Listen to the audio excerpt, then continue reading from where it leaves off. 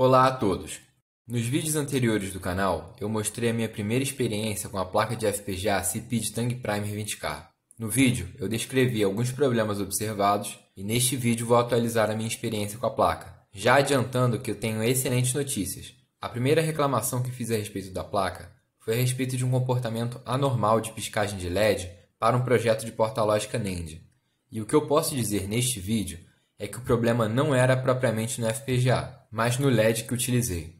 Observe como o LED do vídeo anterior se comporta quando uma bateria 18650 é ligada nela.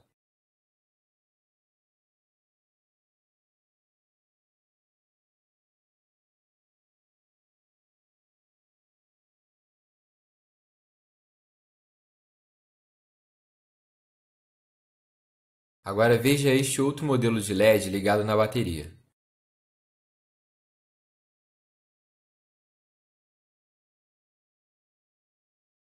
Então podemos concluir que o problema não era o FPGA. Faremos um teste mais adiante com o um modelo de LED que não pisca.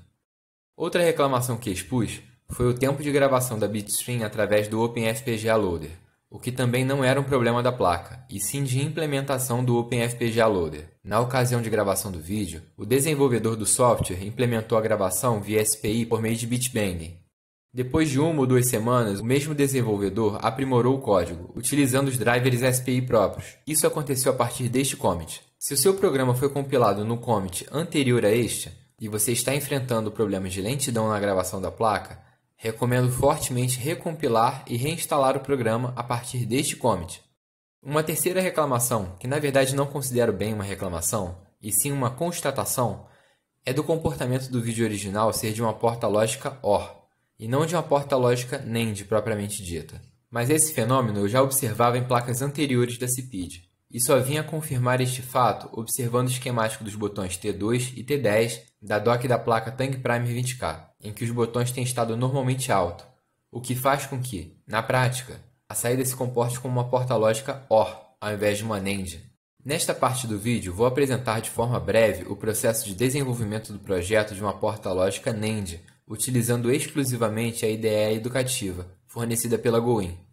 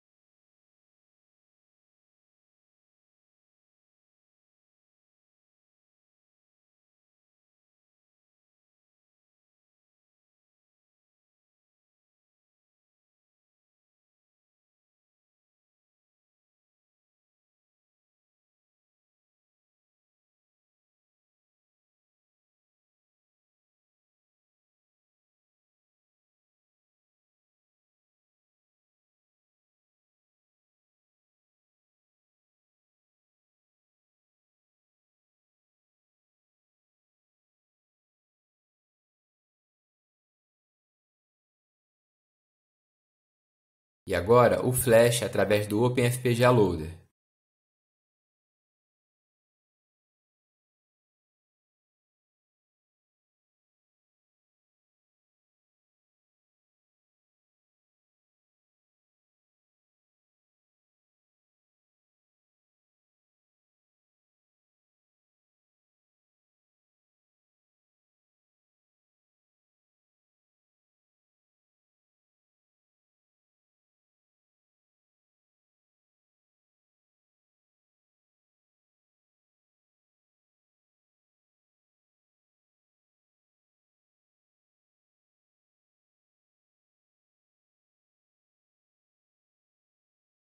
Note que o problema da velocidade de gravação foi resolvido.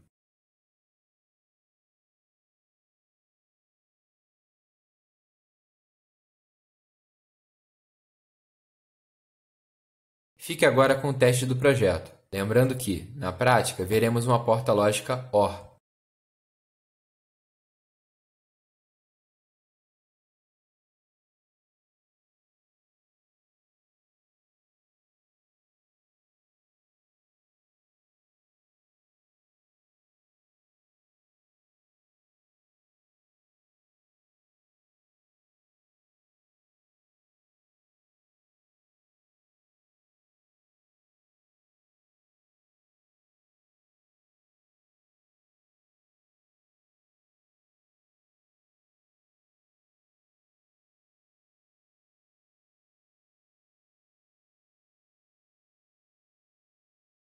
Uma notícia muito bacana que tenho para anunciar é de um novo repositório lançado no GitHub, que transforma a placa Speed Tank Primer 20K em um NES, ou como é conhecido aqui no Brasil por Nintendinho. Quando a Cipid já havia anunciado a placa antes do seu lançamento, um dos projetos que vislumbrava ser de maior sucesso seria a implementação de um console retrô a nível de portas lógicas, e via a placa Cipid Tank Primer 20K com otimismo, em virtude do seu preço e da quantidade de portas lógicas disponíveis. No momento, apesar do projeto funcionar, ele ainda encontra algumas limitações, como, por exemplo, a necessidade de conexão do FPGA a um computador, para que seja feita uma interface com controle. Também tem a necessidade de compra de um módulo HDMI, que acredito que seja o menor dos problemas, pois a segunda versão da dock que vem com uma porta HDMI ainda não foi lançada pela CPID, mas acredito que este seja um problema de fácil resolução, pois a biblioteca para geração de vídeo HDMI foi diretamente importada de um outro repositório. No meu caso, por exemplo, possuo um módulo de saída de vídeo VGA à minha disposição, que pode ser utilizado em substituição à de HDMI realizando as adaptações necessárias no design de hardware do projeto, ou simplesmente usando outro FPGA como buffer.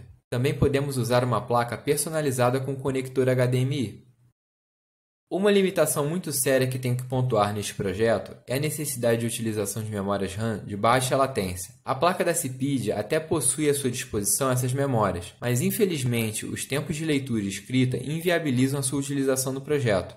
A alternativa mais viável é comprar um módulo de memórias SRAM do Mr. FPGA para utilizar na placa. O desenvolvedor está trabalhando no controlador de memória DDR3 de baixa latência, porém ele está com dificuldades. Ele está solicitando mais documentações a GoIn. Espero que ele seja prontamente atendido. Para finalizar este tópico, apesar deste projeto estar apenas começando, considero este um passo importantíssimo no avanço de que tenhamos dispositivos de FPGA concorrentes ao Mr. FPGA. E, para quem não quiser esperar pelo avanço do desenvolvimento deste projeto, e também não quer pagar um alto valor para ter um Mr. FPGA, Encontrei no canal brasileiro Madro Games uma alternativa mais barata que o Mr. FPGA, que é o Multicore, desenvolvido e mantido pelo Vitor Truco. Ele disponibilizou o repositório no GitLab e no GitHub, com os designs das placas Multicore e Multicore 2. Atualmente, o produto não está mais disponível para venda. O FPGA utilizado no projeto é da Altera Cyclone 4, com 55 mil unidades lógicas e uma Bluepill para realizar a gravação dos códigos na memória. O dispositivo fornece saídas de vídeo VGA e HDMI, entrada PS2 para conexão de mouse e teclado e conectores DB9 para controles. Observei que há uma grande semelhança na proposta, porém com algumas limitações, de consoles mais sofisticados quando comparamos com o Mr. FPGA. Para mais detalhes, vou deixar o link do vídeo de introdução do canal Madro Games na descrição. Para os inscritos do canal que não são do Brasil, eu não tenho certeza se ele estará à disposição para envio internacional. Eu vi também no canal do Madro Games que haveria reposição de estoque para o ano de 2023. A causa do esgotamento de unidades para venda se dá em virtude da crise de semicondutores, no momento da publicação deste vídeo. Desta forma, gostaria de agradecer a atenção de todos que acompanham as informações deste canal. Até a próxima!